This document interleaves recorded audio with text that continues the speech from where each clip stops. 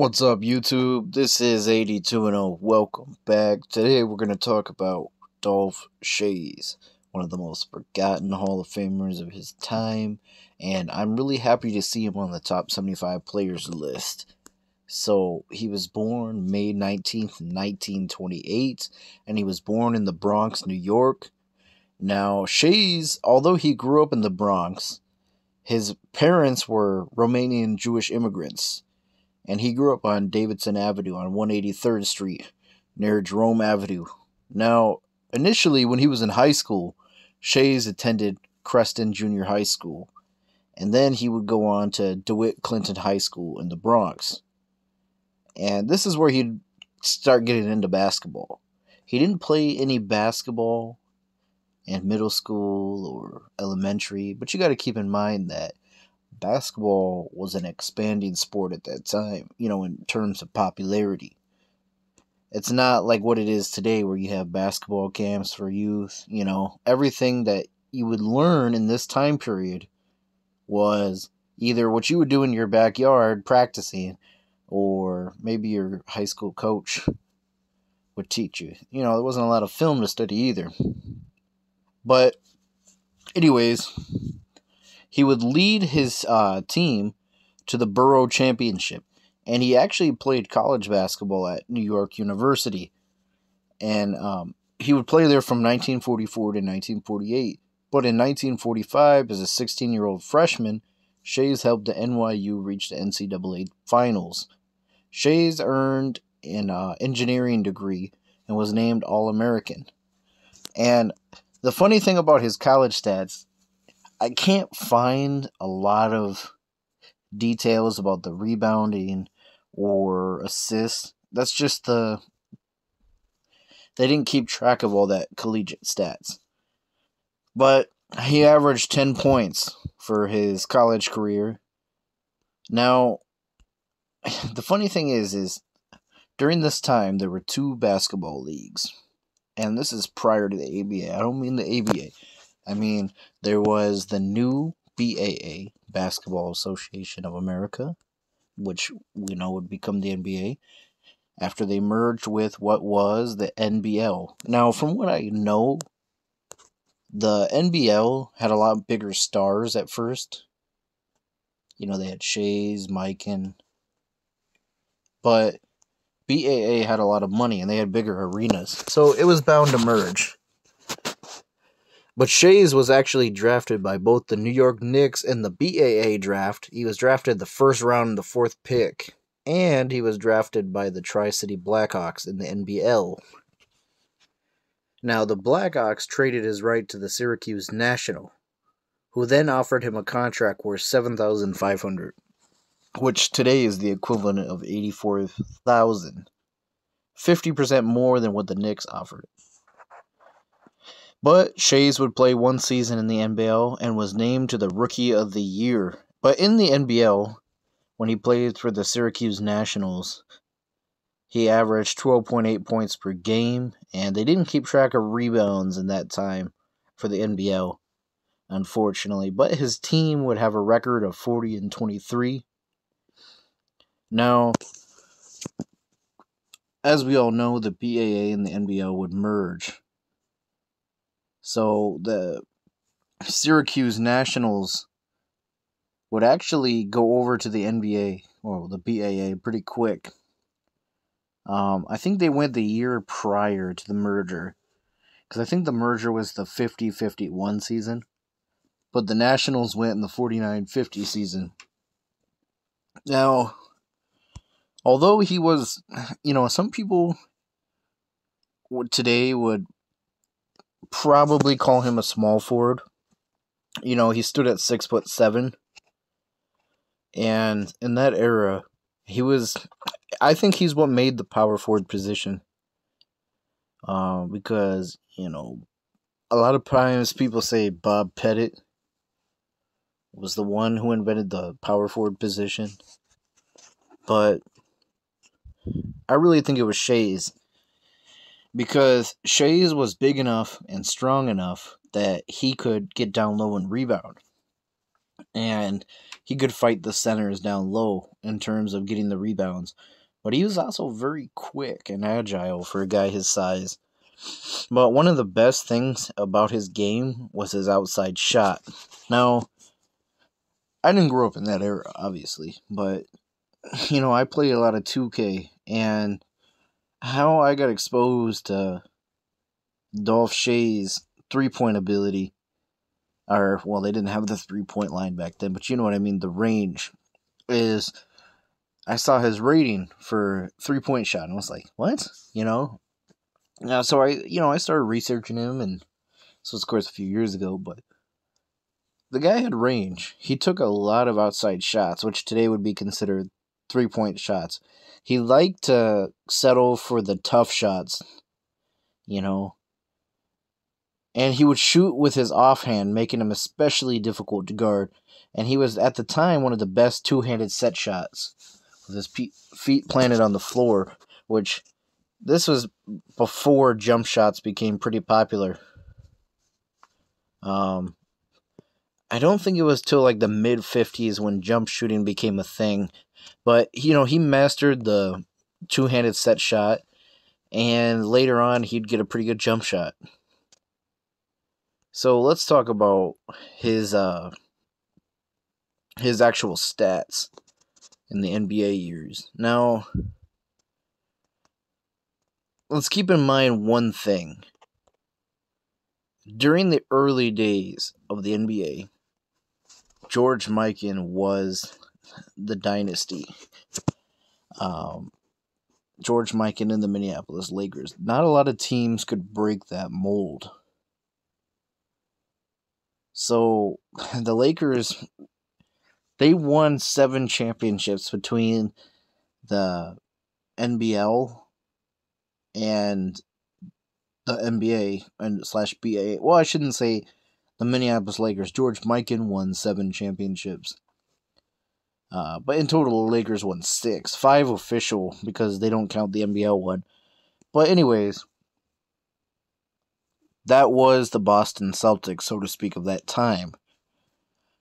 So, he didn't have a. Schayes didn't really have a good, good enough team around him to win a championship in those early years. But I do want to mention Schayes actually led the league in rebounding in 1951 at 16.4. And one thing that stands out with him too is his free throw shooting. He led the league in free throw shooting three times. And from my research, he played, and I know I might get a lot of hate for this, but he played pretty similar. Um, I don't mean like a clone or anything like that. I mean, you can compare him to Harden. What I mean by that is he was great at drawing the fouls. He knew how to manipulate the refs to get a foul call. And some of his field goal shooting is a little misleading. Like, much of his prime, he averaged like 38% field goal shooting you got to keep in mind he was taking a lot of long distance shot set shots. You know, how you can tell that the dude was a good shooter is his free throw shooting. He's a career 84% free throw shooter. And he's also a career Iron Man. Um, he consistently, consistently played every game in the season. I think four times want to say four or five. Five times he never missed a game in a season. Other than that, he was pretty healthy, except for the last couple, uh, the last couple of seasons in his career, which we'll get into. But you know, he was dependable. He consistently played over forty minutes a night, but I guess that was normal. Back then, a lot of starters played a lot of minutes. Um, now, early in his early in his career, the Syracuse Nationals didn't have a lot of success. Like I told you, it was the Minneapolis Lakers dynasty. But that didn't mean that this team wasn't there. Um, for example, in 1954, he took his team to the finals against the Minneapolis Lakers. Now, this would come down to seven games, and it was still pretty close. The Lakers won 87 to 80 in game seven, but by 55, you know, the Minneapolis Lakers were done. And this is when Dolph Schayes took full advantage of that.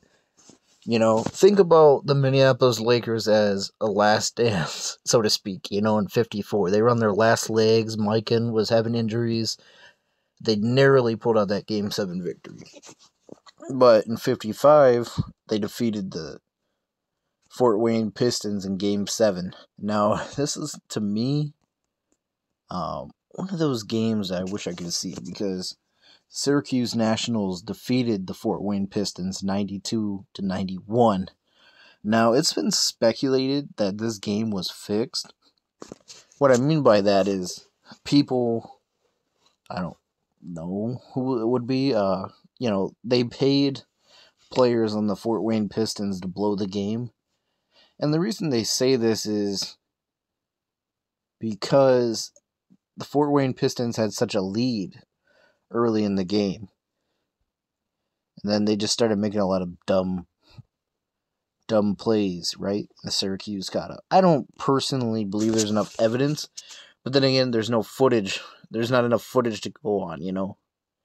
Uh, but nonetheless, Dolph Schayes pulled it through. He he won in Game Seven, won his first championship, his only championship. But you know, let's talk about his career. He was the first person in NBA history to surpass 15,000 points. Uh, later, Bob Pettit would annihilate that and get 20,000, which later Wilt would annihilate that and get 30,000. Later, Kareem would annihilate that. And later, LeBron would annihilate that. But Dolph Schayes was the original scoring leader. Um, as the 50s and to the early 60s, his scoring would go up some as, you know, the game would get faster paced. Um, his career high was 24.9 points per game in the 58th season. But he was never able to recapture a title, you know, and he would he would actually become a player coach in the early 60s. Like Syracuse Nationals in 1963, uh, 60, I want to say 62, he was a player coach. Might have been 61. But, anyways.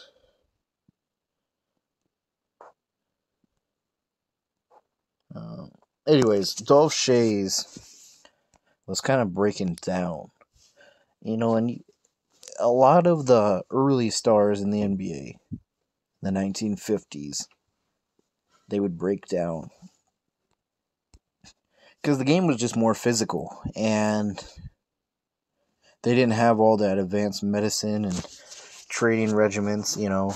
This is what surprises me is how long Schayes lasted. I mean, the guy played 16 seasons, you know. Um anyways, the Syracuse, as we all know, would become Philadelphia 76ers. Um, they'd move to Philly in the 63 64 season. And I do remember off the top of my head, I apologize. That's the year that he was the player coach. Now, a big reason why he retired is the team was already good. They had Hal Greer, uh, Chet Walker. You know, this was an up and coming team. They didn't really need him as much, you know? So that'd be his last season. But as a coach, you know, I think it's not a secret that he and Wilt didn't get along. Um, they acquired Wilt in the 64 65 season, which we all know that was the year that Havlicek stole the ball. The Philadelphia 76ers lost, but in 65 66, his last year as coach of the Philadelphia 76ers, Dolph Schayes led them to a 55 and 25 record. Uh, Wilt and him clashed from what I've everything I've read, and he was out the door. And they brought back Alex Hannum, who was a coach of the well, they were Syracuse when he was when they were still in Syracuse, Alex Hannum was their coach. Um, he actually coached the Hawks in the late 50s, too. But he would lead them to a championship in 1967. And I don't think it was a. I don't think Dolph was a bad coach. I just think the players he was coaching, particularly Wilt, they just couldn't get along. Um, he briefly coached um, the Maccabiah Games, which was a basketball team uh, in the 1977 Maccabiah Games. Which, for anyone who doesn't know what that is, it's kind of like a. Oh, how do I word it? It's like an Israeli. It's like an Israeli Olympic game. Um, it was the 10th annual Maccabiah Games in Israel, which hosted more than 2,800 athletes from 34 countries. Uh, anyways, he coached them to, a, and he also played an active role in raising money for the Maccabiah Games because he did have Jewish ancestry. You know, his parents were Romanian Jews. You know, but anyways, after the after the NBA, after the coaching, he had a pretty successful career in real estate. And not only that, his son went on to become an NBA player. And I'm sure a lot of people remember him. Um, Danny Schayes, he wasn't an all star like his dad, he wasn't a Hall of Famer or anything, but he played quite a while too. Uh, he was a center, six foot eleven, played from eighty one to ninety nine. He had a pretty long career he was there, you know. But unfortunately, Dolph Schayes is no longer with us. He died of cancer on December 10th, 2015, at the age of 87, and he was buried in the Woodlawn Cemetery in Syracuse, New York. And after his NBA career, he spent the rest of his life living in Syracuse. That was his home. And in 1970, Schayes was elected to the NBA 25th anniversary team and at the time he was named um, one of the greatest players of all time. And in 1972, he was elected to the Naismith Basketball Memorial Hall of Fame. He is also a member of the International Jewish Sports Hall of Fame and the U.S. National Jewish Sports Hall of Fame.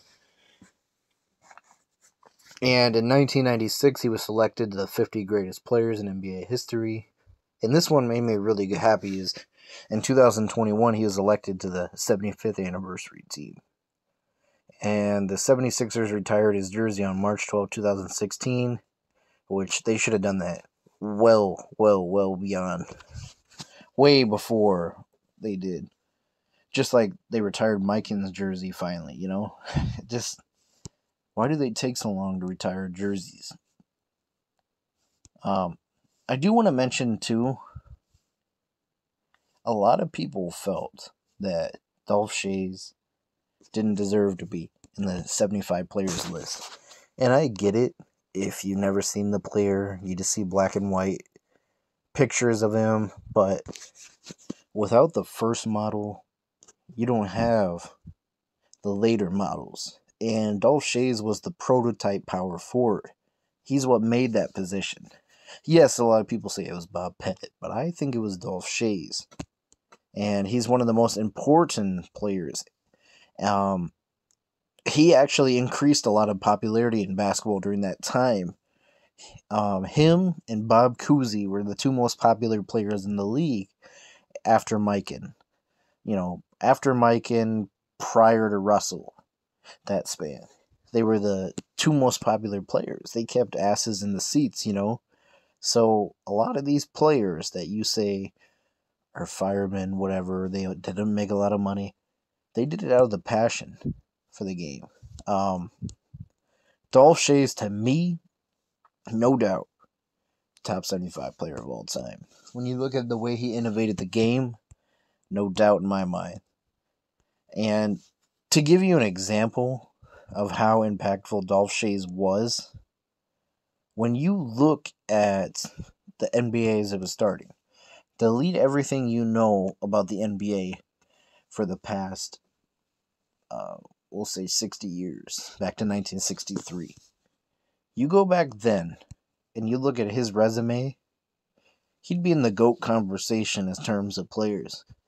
And it's amazing. It, it, I don't mean like he's the GOAT above Mike, and I mean like he's in the conversation as one of the greats.